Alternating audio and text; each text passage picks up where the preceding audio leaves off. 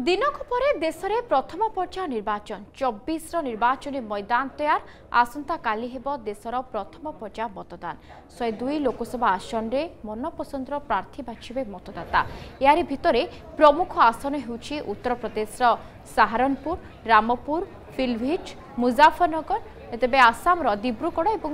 ସୋନିତପୁର ଛତିଶଗଡ଼ର ବସ୍ତର ବିହାରର ଜାମୁଇ ଏବଂ ଗୟା ଜମ୍ମୁ କାଶ୍ମୀରର ଉଧମପୁର ନିର୍ବାଚନ ପାଇଁ ପ୍ରସ୍ତୁତି ଚୂଡ଼ାନ୍ତ ହେବା ସହିତ ସୁରକ୍ଷା ବ୍ୟବସ୍ଥାକୁ ବଢ଼ାଇ ଦିଆଯାଇଛି। ବିଶେଷକରି ମାଓ ପ୍ରଭାବିତ ଅଞ୍ଚଳରେ କଡ଼ା ସୁରକ୍ଷା ବଳୟ ମଧ୍ୟରେ ପୋଲିଂ ଅଧିକାରୀମାନଙ୍କୁ ହେଲିକପ୍ଟରରେ ନିର୍ଦ୍ଧାରିତ ପୋଲିଂ ସେଣ୍ଟରକୁ ନିଆଯାଇଛି। ଗତକାଲି ପ୍ରଥମ ପର୍ଯ୍ୟାୟ ନିର୍ବାଚନ ପାଇଁ ପ୍ରଚାର ସରିଛି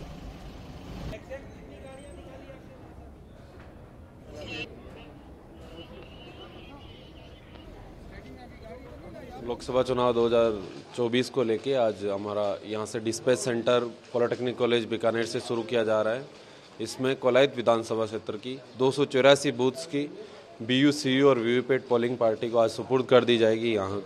इस डिस्पैच सेंटर के द्वारा और कल वोट होने के शाम छः बजे इसी सेंटर पर वापस रिसीव्ड की जाएगी। हर पीआरओ की अपनी रिपोर्ट के साथ। सीधी पार्लियामेंट्री कॉन्स्टिट्यूंसी नंबर 11 की जो चारों हमारी विधानसभाएँ हैं छिहत्तर, सतहत्तर, अठहत्तर और बयासी धोनी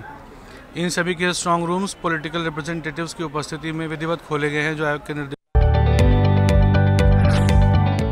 जदि आपण को आम भिडी भल लगा तेब आम को लाइक शेयर और सब्सक्राइब करने को जमा भी बुलां नहीं।